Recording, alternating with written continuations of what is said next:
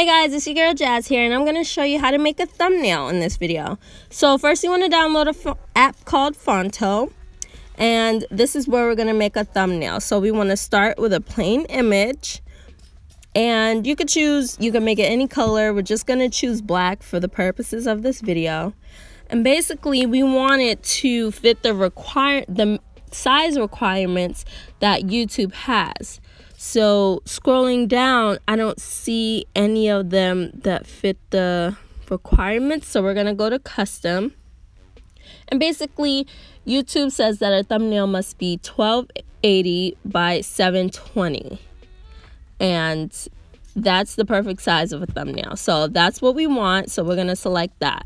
And this is going to be our template. So anything that you put on this template is going to automatically be okay for the size of a thumbnail. So I guess for this video, we're to um, make a thumbnail saying how to make a thumbnail. And they have lots and lots of features. I mean, you they have tons of fonts to choose from. I'm just to pick a random one, preferably that's easy to read because if people can't read what the thumbnail says, they're not likely to click on it. So we could hit style and then there is where we customize the the words. We could pick any color. I'm going to pick blue. And then we can go over to stroke. That means how is the outline going to be? The thickness, the color of the outline, really anything to make it pop. And this is where you can do anything you want, make it look any way. You can have plenty of vibes. I'll put a background behind it.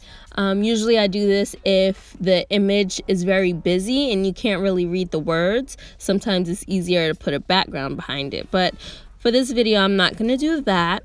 Then we can go over to style and put a shadow on behind the words. This definitely helps add depth and dimension to the words. It really sticks out and pops out in a way that it doesn't look as flat um, as compared to without the shadow. I, I personally add this to all the words. It just really creates a pop to it. And again, you can put it in any color you want and you can space it out far or close. You know, you could do a lot of things. And really, the overall point is to make the words pop because this is the first thing people are going to see before they even watch your video is your thumbnail so your thumbnail definitely has to catch the eye and people have to want to click on it this is really great for that. Oh, and the thing that I like about this is that you don't have to type the whole sentence and do it all at once. I mean, you can literally type in each word individually and make it all different types of fonts and and place them as you see fit. It doesn't have to be like in a sentence. You can kind of be be creative and put it in any way you see fit. You can definitely play with the size and the colors. You see here I'm picking different colors just to make it all pop.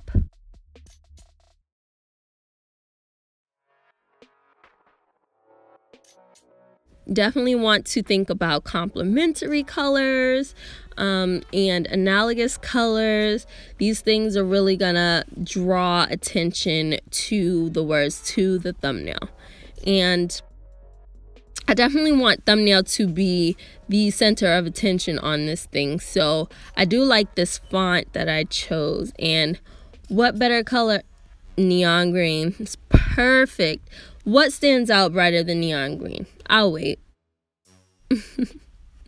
and then, oh my gosh, this is really coming along. Like, this app is so helpful, and the more you play around with it, the easier and faster you can do it. Ooh, like this, this is nice. This looks like a little 90s retro theme happening. I like these colors. Definitely gonna keep that. That's nice. Mm-hmm. And then I want this to be real big.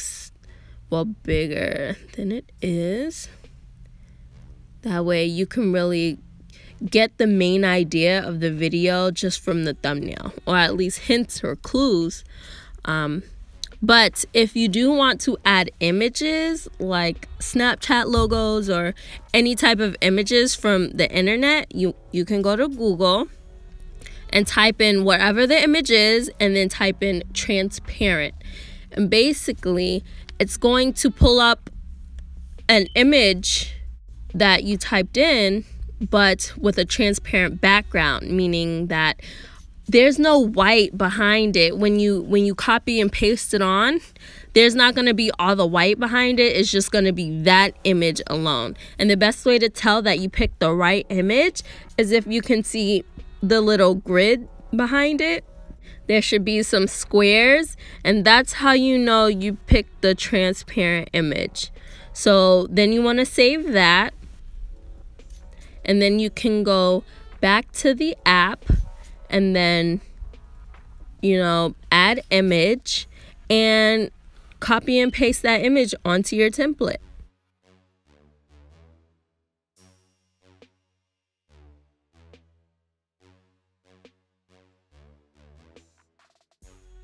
and look at that look look how the image is just the logo itself it's not white it doesn't look like i copy and pasted it's just the logo. And then I wanted to find an arrow so it could look like click subscribe sort of thing. Oh, found one right there. And, and sometimes the images overlap. That's fine. Sometimes you can use that to your advantage. Um, sometimes you have to move things out of the way just to click on another part of the image, but that's fine. You could just work with it. And basically, I guess the idea here is I want to do like a click subscribe type of thing. And so I don't want this arrow facing straight up. So I sort of want to tilt it diagonally so that it gives it more character. Yeah, just like that. Just the corner. Look at that. Like we just made a thumbnail. And how easy was that? And how quick did that take? It doesn't have to take an hour. It could take like 10 minutes and you can keep adding and adding. I'm to put subscribe on there so it's a little bit more obvious. You know, just put some red, put a little outline on it so it can give it some dimension, and then put a, a little shadow behind it so it could pop a little bit more, stand out from the background a little bit more make it real small and put it right up there. Mm-hmm, mm-hmm, mm-hmm. Oh yeah, and you can also use the move button to move the images around if you can't tap and drag it. But you know, this is pretty simple, not too difficult. Um, and again, you can create anything and you can just save image and it'll save straight to your phone. And then sometimes you can even upload the thumbnail straight from your phone to YouTube itself. Like you don't have to, you know, send it somewhere, whatever. Oh, and I also forgot if you wanted to add like non conventional images, like certain memes or stuff, literally type in what the image is and then transparent. So I want a hand holding an iPhone, transparent. Click on images, and lo and behold, all these options. Who would have known that there would have been a lot of options for hands holding an iPhone? As random as it is, I still was able to find an image. So I'm gonna keep scrolling until I find a good one. Oh, that's good. And see how it got the squares behind it? That's how you know it's transparent. So then we can save it. And then we can go back to the app. And yes there are ads. That's fine. Just click them out the way. We'll be fine. And then we can reset that. And sometimes you can go to restore previous image and that keeps the same template that you've been working on. And basically, you can just drag all the extra stuff off of the template. and then use that instead of having to go back every time and create a new template. You can just drag the stuff off and you're back to a blank canvas and then you can drag your new items onto the new template. So I'm gonna grab that. Old thumbnail we just saved and now this new picture. And we're gonna add that and I'm gonna enlarge it right here in the corner. Boom. Oh also key tip make sure the image is not bigger than a template because whatever is leaning over the edges of the template will not be saved, will not be shown, and then your thumbnail will be messed up. So, whatever it is that you're putting on the thumbnail, make sure it fits within the parameters of the template. That is very important. And you see how it overlaps? That's okay because sometimes you can use it to your advantage. So, you see how I can tap the hand and it's over the how to. And so it creates an image and it looks seamless. And then I'm gonna I'm just gonna add using iPhone because I forgot that part earlier. I'm just gonna pick a random font. Nope not that one because you could barely read it. Put something that's cute. Hmm. Let's see. Okay this one's nice. So we're just gonna add that down there and I'm gonna make it really small that that's gonna be kind of like a PS, da, da, da, da, but it's gonna be like using your iPhone. so yeah, making it pop. Let's use some red. Reds and greens really, really do pop. So I've learned. But again, you can use any color you want. It could be thematic. You could have it all pink. You can have it all yellow.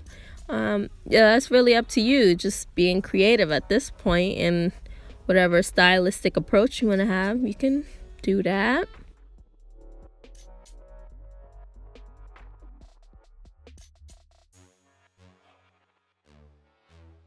So, boom, there we go. Add that right under the thumbnail. Look how colorful this is. And again, you didn't even have to use a black background. You can use a bright orange background if that's what you want. Uh, you can use emojis. This is how you can put emojis on your pictures. When you click on add text, instead of typing in words, you can type in emojis. And that's basically how you can complete a thumbnail, really, and save it to your pictures. And this is what you turn out with. Thank you so much for watching. This was a very highly requested video. I hope this helps answer some of your questions. And if you have any other questions, comments, concerns, put them in the comments below. I'll see you in my next video. And until next time, stay awesome.